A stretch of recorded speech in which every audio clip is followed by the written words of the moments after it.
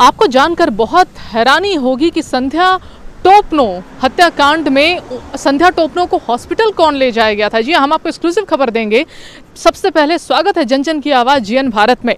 आपको जानकर वाकई में बहुत हैरानी होने वाली है कि जब संध्या टोपनो को जब आ, मारा गया उनकी हत्या की गई जब उनको 100 मीटर घसीट कर रौंदा गया हमने कल आपको एक वीडियो दिखाया था साइट पे जाके ग्राउंड रिपोर्ट हम आपको दिखाया हमने आपको दिखाया था कि किस तरीके से उनको घसीटा गया था क्या वहाँ का माहौल था ये सब बताया था।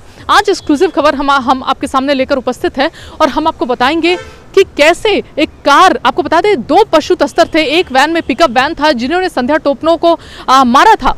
और एक पीछे कार कार व्हाइट कलर का ऑल्टो चल रहा था जिसमें आठ पशु तस्तर बैठे हुए थे।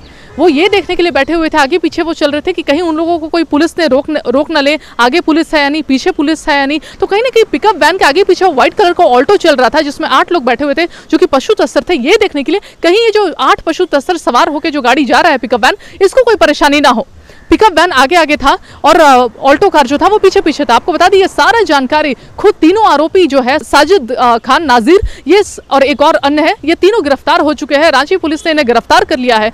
और जब इनसे एकदम कड़ी से पूछताछ हुई तो तीनों ने मिलकर बताया, पूरा डिटेल बताया कि आखिर उस रात क्या हुआ था और कैसे हमने संध्या टोपनो का मर्डर किया। इसी क्रम में उन्होंने ये बताया कि हम उड़ीसा के गाँव से आ रहे थे, रांची के काटा टोली। जी हाँ रांची के काटा टोली में कोई महमूद है? महमूद का वहाँ पे बूचड़ खाना है। वहाँ पर हमें ये पशु जो है सप्लाई करना था। कुल मिला के आठ पशु थे जिसे हमें पिकअप वैन में रखा और हम जाने लगे। रास्ते में बसिया के जो थानेदार और थाने वाले हैं उन्होंने सबने बैरिकेड्स लगा के रखे थे उन्हें रोकने के लिए।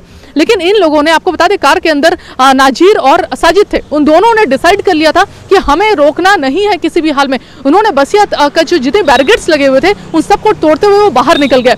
उसके बाद आगे पहुँचे तो तोरपा थाना के लोग चिल्ला रहे थे रोकने के लिए। उनको भी नजरअंदाज करते हुए वो आगे निकल गया उससे आगे जब निकले तो हुलुंडू के पास एक हाईवा बाहर खड़ा था आई मीन हाईवा खड़ा था रोड पर। तो ये पुलिस ने खड़ा करवाया था इनको रोकने के लिए, क्योंकि इनकी गाड़ी जो है बहुत तेज रफ्तार में जा रही थी।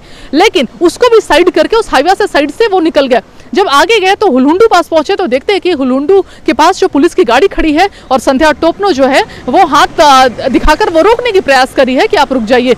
लेकिन इन दोनों ने आपस में यह डिसाइड कर लिया था कि हम दोनों ने पुलिस के सामने भी ये कबूला है कि हम दोनों ने ये डिसाइड कर लिया था कि हमें गाड़ी जो है इनके ऊपर चढ़ा देना है। किसी भी हाल में हमें रुकना नहीं है।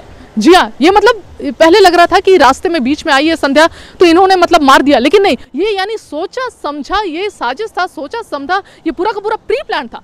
इन दोनों ने संध्या को, वो चाहते तो आसानी से बचा सकते थे, साथ चाहते तो साइड से भी निकल सकते थे। उन्होंने प्री प्लान करके संध्या को घसीटते हुए आगे वो निकल गए रिंग रोड के रास्ते उन्हें काटा टोली पहुँचना था।